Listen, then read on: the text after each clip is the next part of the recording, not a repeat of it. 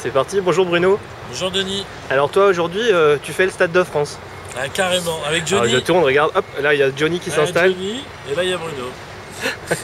Donc tu fais la première partie de, de Johnny Hallyday aujourd'hui. C'est ça, mais sans le public de Johnny. Mais plus sérieusement, euh, tu, es- tu organises un salon avec Mobile Event, hein, la boîte, euh, qui s'appelle Cross Video Days. Alors j'ai envie de te poser une question simple, mais qu'on a dû te poser mille fois depuis le début de ces deux jours.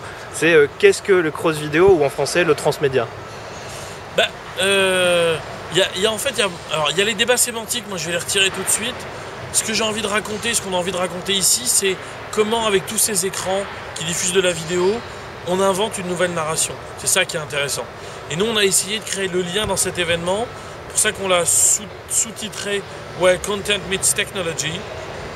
Ce qui nous paraît important, c'est la rencontre entre les nouveaux créateurs, les gens qui inventent les nouvelles formes de narration et les gens qui inventent les nouvelles technologies.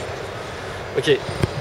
Alors le- le- l'espace pub, on va l'appeler comme ça. Non mais et donc, ok, ça c'est la, la création. Mais comment fonctionnent les cross vidéo qui est un- Alors je reprends. Comment fonctionnent les cross video days, l'événement qui est un nouvel événement euh, dans l'univers euh, français je et n'avais pas francophone? compris ta question. Moi non plus d'ailleurs, si ça peut te rassurer.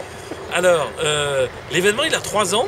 Et en fait, euh, il fonctionne sur trois pôles principaux. Il fonctionne sur des conférences et des panels que vous retrouvez gratuitement en ligne, en VOD, tout au long de l'année. Donc, euh, n'hésitez pas à y aller, à aller les voir. Sur le site cross sur crossvideodice.com. Il fonctionne sur des workshops qui sont des présentations beaucoup plus concrètes, beaucoup plus pratiques de, de société.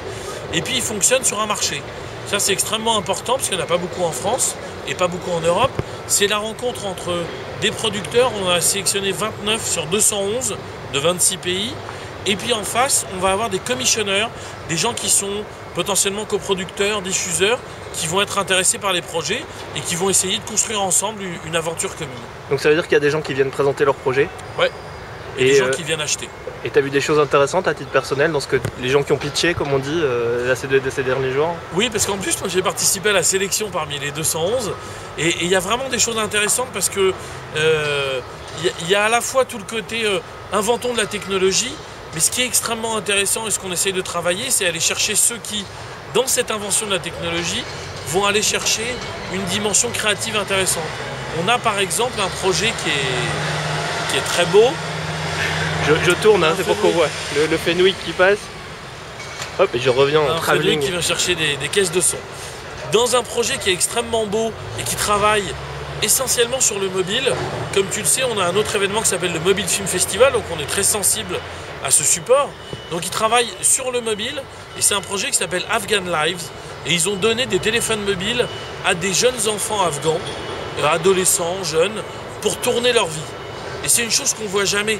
L'Afghanistan, on le voit soit sous les bombes, soit des soldats qui sont morts malheureusement, soit des choses de ce type-là, mais on voit jamais la vie des citoyens.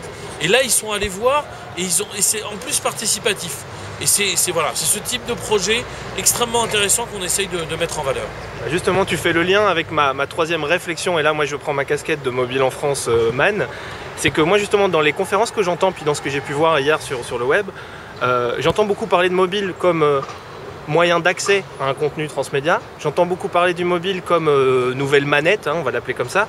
Mais j'entends encore parler assez peu du mobile comme support unique, ou en tout cas support privilégié du transmédia. Donc c'est un outil ou c'est un moyen d'accès à, mais c'est pas le support unique. Alors, par définition, le transmédia, comme son nom l'indique, il doit être multi-support. Sinon, il n'est pas transmédia. Donc déjà, on ne peut pas avoir qu'un projet mobile qui soit défini comme transmédia. Maintenant, euh, le mobile se développe de plus en plus, il est de plus en plus fondamental. On le voit ne serait-ce que par la consommation de vidéos euh, qui, est en totale explosion. Euh, après, euh, en fonction des projets, en fonction de l'ouverture de, chacun, il y a dans la plupart des projets qu'on a sélectionnés, en tout cas des applis qui sont intégrés dans, le, dans la mécanique globale du projet.